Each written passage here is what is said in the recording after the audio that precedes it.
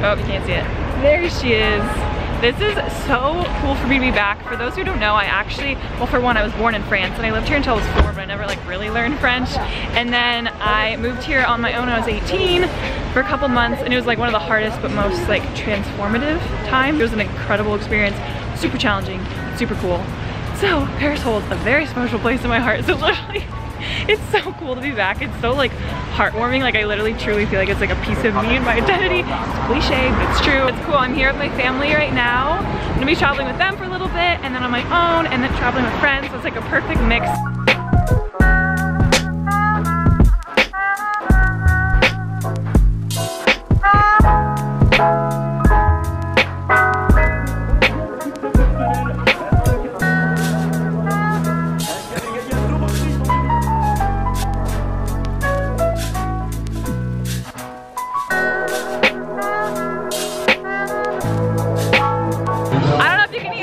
I'm gonna yell. But we're on the Champs-Elysees and we saw the Tour de France by accident, which is super cool. And now we're out here and we walked by the Abercrombie and I wanted to see if I was in it because I recently did a campaign with them and it closed. But look how extra it is. Like the entire gate. My cute hair. Oh, oh la la. We were here five years ago. Five years. We've never done this remember walking by Abercrombie and being like, oh my gosh. And now I might be in it, but we don't know. We're currently headed to Lyon to hang out, explore, and then I'm going off to Switzerland. But get to hang with the family a little longer. So yeah, Pratiquer le français.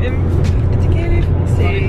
Oui. He's actually French, so she'll knows what's up. Bonjour les abonnés d'Elena, abonnez-vous à sa chaîne. Yes. Super. I got about half of that. Is that the stone? Hi. Oh, continue tout droit,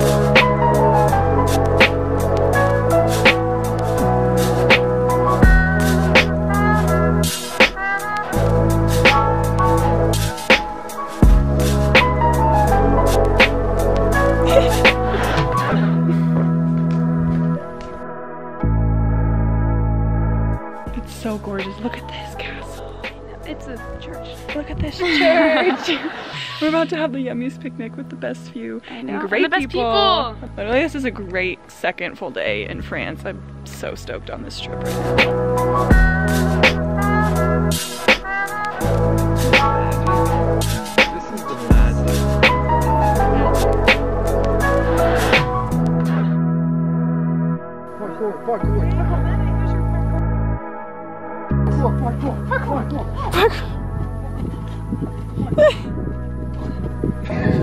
parkour.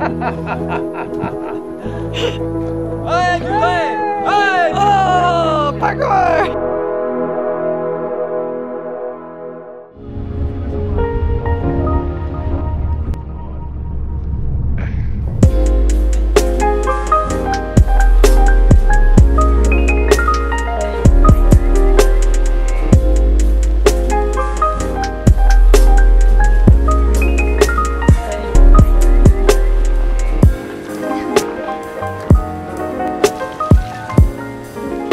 currently day two. We're in like the Lyon region right now and we just went to a little town called what? Which an American, it's very funny to me.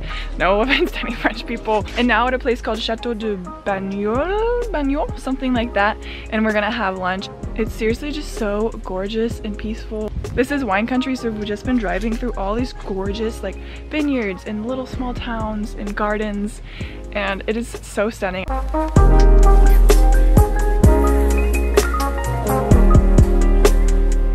Saw a beautiful church. Now we're gonna get some ice cream.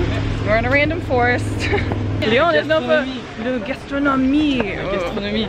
And is that it? Is that it? That's it. That's it, nothing else. Yeah. Started up there, and now we're here.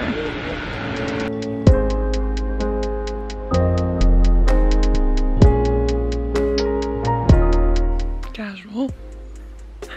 I'm exploring the surroundings of my Airbnb.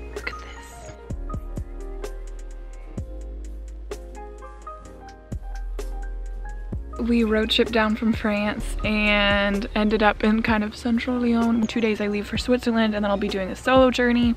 And so we came here and we met up with some family friends and it is so cliche, but it's so true that traveling literally just opens up your eyes to so many different ways of living and lifestyles and cultures and experiences that kind of transform the way you see yourself and your future and just kind of like puts the way you live your life in check. Because it's so easy to get stuck in the bubble of like your community and your town and your school or whatever it is and thinking that's like the only way of life.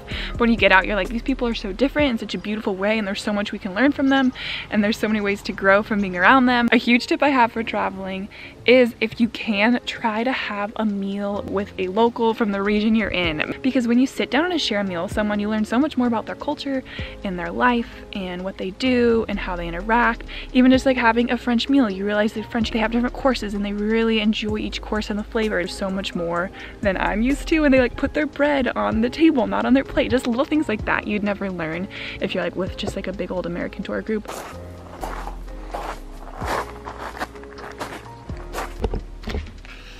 Move spots. This is just kind of a ramble, but we're going with it.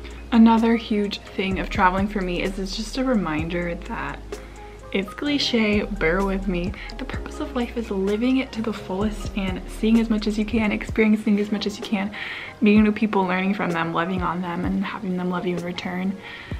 And literally, I feel like I'm a freaking Tumblr cliche quote right now, but it's so much more than material goods or how much money you make or how successful you are. It's fine to like nice things and to enjoy that style of life. And at times I do too, but I feel like you find joy in just simple moments like this, like looking out on this courtyard as the sun sets in the Blasse region of France. Like what? Oh, yeah. To conclude this random ramble, the wise words of Damon and Jo, the homies, just, you know, shut up and go.